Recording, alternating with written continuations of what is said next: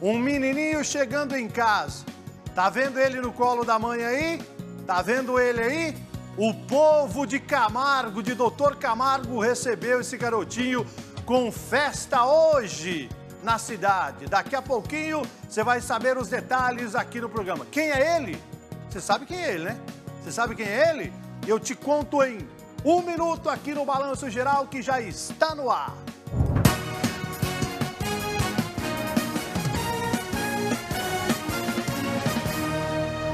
Tá começando o nosso Balanço Geral Maringá. Que tenhamos uma semana abençoada por Deus, eu tenho certeza que vai ser abençoada por Deus. E a partir de agora você fica bem informado com o nosso Balanço Geral Maringá, que já está no ar. E hoje eu começo o programa com uma notícia boa, começa um programa diferente com uma notícia positiva, uma notícia de vida, graças a Deus. Vamos para Doutor Camargo. Doutor Camargo, há dias atrás aconteceu um acidente lá bastante grave. A trave do gol caiu sobre um garotinho, um menino de sete anos. Ele foi atingido na cabeça. O helicóptero do SAMU esteve lá, os médicos fizeram de tudo para trazer o menino o mais rápido possível para Maringá. E graças a Deus, graças a Deus, nesse final de semana, ele recebeu alta do hospital e foi embora para casa os vizinhos, os, os amigos estavam esperando o garotinho e a família com festa lá no município de Doutor Camargo. Vamos ver a reportagem? Vem comigo, você, Bruno Gerhard. Foi nos braços da mãe, dentro do carro, que o pequeno Kendi chegou em casa depois de mais de 15 dias internado. 11 deles na UTI em um hospital de Maringá. Na rua, na cidade de Doutor Camargo, Amigos, vizinhos, todos esperavam por essa volta. Até uma carreata foi feita em homenagem à chegada do menino de apenas 7 anos de idade. O acidente com o garoto aconteceu na tarde do dia 29 de julho. Ele e alguns amigos estavam em um campo de futebol em Doutor Camargo e teriam tentado levantar uma trave que estava no chão. Nesse momento, a trave acabou caindo e acertou em cheio a cabeça do menino. Kendi foi socorrido pelo Serviço de Atendimento Médico de Urgência, o SAMU.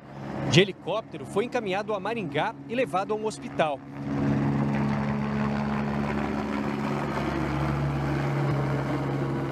Essas imagens mostram o momento em que ele chegava ao local. A criança sofreu o traumatismo craniano. De lá para cá, foram momentos difíceis, de uma recuperação lenta, que na verdade ainda está em andamento. Segundo a mãe, Kendi perdeu 7 quilos, está fraco, tem uma pequena lesão motora em uma das pernas, mas apesar disso, o fato de ter sobrevivido é considerado por muitos, inclusive pelos próprios socorristas que prestaram o primeiro atendimento, um verdadeiro milagre. O retorno dele à casa, a felicidade da, das, dos vizinhos, de todos, principalmente do pai, mãe, dos irmãos, para nós foi um grande presente. A nossa missão aqui dentro desse serviço de resgate é voltar fazer as famílias felizes, fazer com que seus entes queridos voltem ao seu, seu lar, podendo viver tudo aquilo que Deus preparou. Vocês não têm noção da nossa emoção e de todos que aqui estão nessa equipe, a felicidade de ter o Kenji de volta à sua residência. Resgate dificílimo. Se não tivesse a velocidade, ele iria falecer lá. Mas Deus fez tudo certo, tudo funcionou. Que Deus abençoe essa família. Viva o Kenji!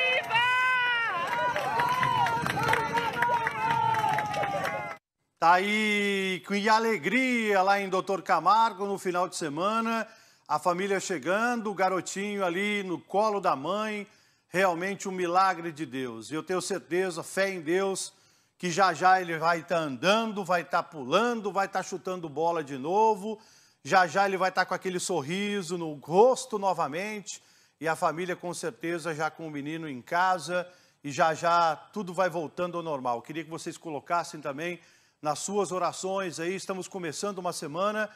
O garotinho, se Deus quiser, já já tudo vai voltar ao normal. Realmente o impacto da trave foi muito violenta nele, mas o mais importante é que a gente está vendo ele aí, ó, vivo, o milagre de Deus aconteceu e agora a sequência é a recuperação. Já já ele está pulando de novo, correndo de novo, como estava correndo lá no campinho. Já já ele vai estar sorrindo, eu tenho certeza disso.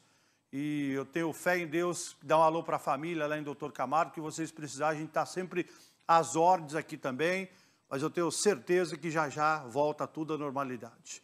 E fico alerta, principalmente para quem tem aí campo de futebol, tem trave solta, as prefeituras também, verificar as traves do gol, porque pode acontecer, já aconteceu e pode acontecer acidente. E isso foi mais um acidente que aconteceu, lamentavelmente, ali no município de Doutor Camargo. E dá um alô se tiver algum fisioterapeuta, ou em Camargo, ou em Vatuba, ou alguém da região que possa, Paysandu, ou mesmo de Maringá, que possa ajudar a família. Nesse momento, eles estão precisando de um fisioterapeuta para fazer aí a parte de reabilitação do menino. Nós temos o telefone aqui da família. Liga para a gente, 3218 7226, que a gente passa o contato da família para você aí que possa ajudar na recuperação do garotinho, tá bom? De Doutor Camargo, vamos mudar de região, vamos para a região de Iguaraçu. Coloca o Bruno Guerreiro comigo aqui. Uma tragédia lá em Iguaraçu no final de semana. Um borracheiro muito conhecido e querido lá em Iguaraçu, infelizmente morreu, explodiu o pneu do caminhão, Bruno. Oi, Sal, boa tarde para você, todos que nos acompanham. Infelizmente foi isso mesmo que aconteceu, viu? Esse borracheiro, 41 anos de idade, como você falou, bastante conhecido ali na cidade, inclusive já tinha saído, por exemplo, como para vereador ali em Guaraçu. Ele estava trabalhando aí durante o final de semana, enchendo um pneu de caminhão e no momento que eles estavam para colocar ali o pneu no caminhão,